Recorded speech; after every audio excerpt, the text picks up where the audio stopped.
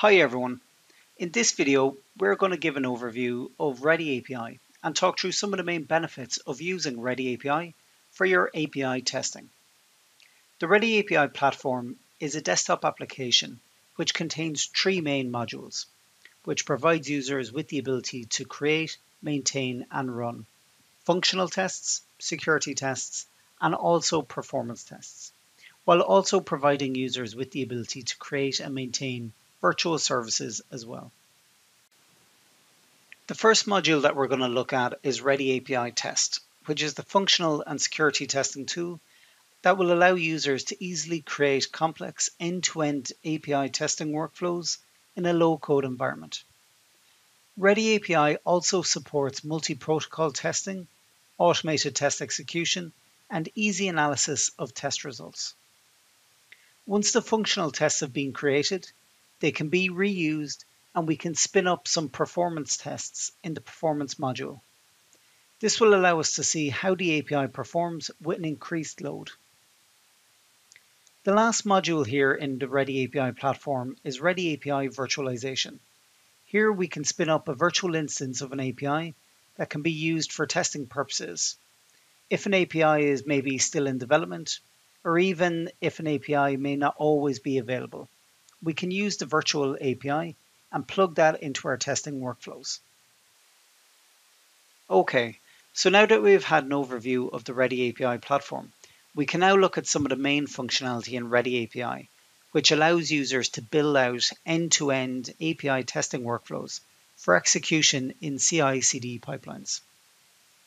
One of the first steps here in creating an automated testing workflow is the ability to create a data-driven test.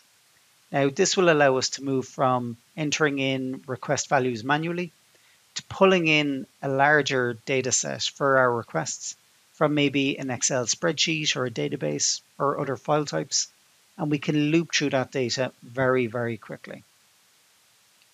Once we have our data-driven test set up, we can then pass values between different test steps very easily in Ready API allowing us to chain together the steps and create that end-to-end workflow. This can be done by using the get data functionality, which will build out an expression for us and allow us to pass the values between the different steps. The next step in creating our testing workflow is the ability to add assertions to validate whether our tests have passed or failed. We can add assertions for maybe status codes, response SLAs, or even if we want to check the specific data that we receive back from the response. We can add assertions in two ways, either from the assertion section at the bottom of the screen, or we can use the smart assertion, which will generate one large assertion which can check multiple fields at once. Once we have our tests in place and we run them, we can then use the reporting functionality in Ready API to easily analyze whether the test jobs have passed or failed.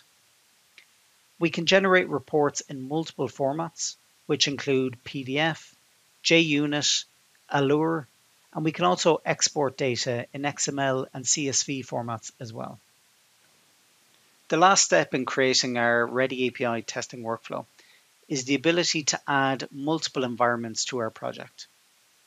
Environments will allow us to switch and test against different endpoints very quickly. And it'll also allow us to add different authentication profiles, proxy settings, and custom arguments for each environment. All of the functionality previously shown allows users to create complex end-to-end API testing workflows in a low-code environment that can then be incorporated into their CI/CD pipelines for test automation. Thank you for watching.